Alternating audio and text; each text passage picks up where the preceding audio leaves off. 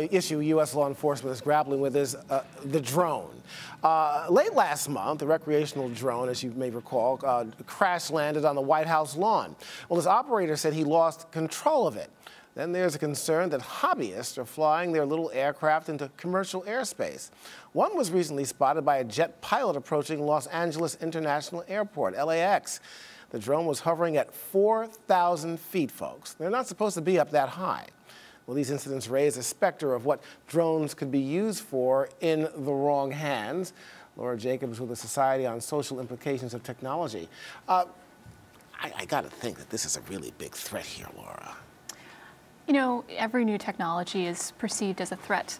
And what happens is that we as a society figure out how to regulate it, um, how to integrate it into our culture, and and you know how to turn it from something really scary into something that's every day. But Laura, you know, I, I, can go right around the corner from this studio. There's a hobby shop right around the corner, and they sell a ton of drones. I can pick up a drone right now. One of our cameramen has a drone with cameras on it. Who knows what else you could put on these things?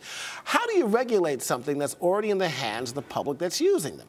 You know, well, a lot of these regulations, you know, first of all, our legislators need to decide what these kinds of regulations should be. You know, we're still waiting on the FAA to come out with regulations for commercial drones, uh, but there are rules about how high hobby drones can fly. It's about, you know, 400 feet, um, which is quite modest. And there are rules about, you know, every, you know, if you are just piloting a hobby drone, you need to keep it within line of sight.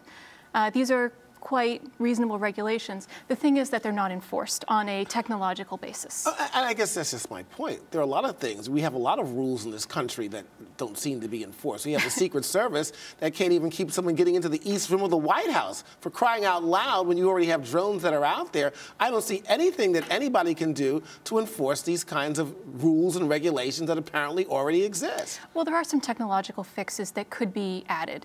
Um, you know, so after that White House incident, something that happened very quickly uh, was some of these manufacturers started turning on geofencing. Mm-hmm. They can prevent any drone with up-to-date firmware from entering, say, White House, the, this airspace over the White House, or getting within a few miles of it. They can also prevent uh, a drone from flying into the airspace of a commercial airport.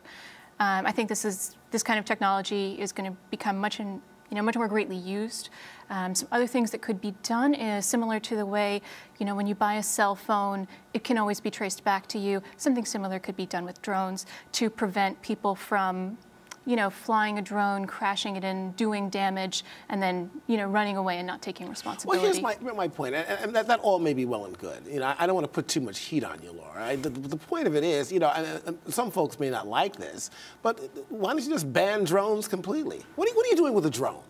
You, you, you, put a drone up there with a, with, with, a camera on it or something. So you're looking into somebody's house, you're hovering over the White House, you're doing something crazy. I mean, what, why do you need these things? You why? Know, in, in the United States, we take a very uh, loose approach to regulation. Something needs to pose a serious danger before we ban it outright.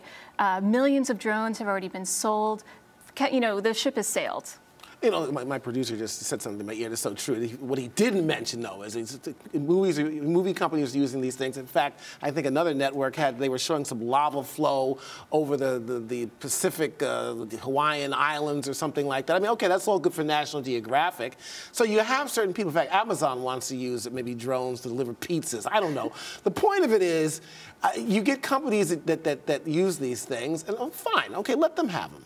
But the average person, why?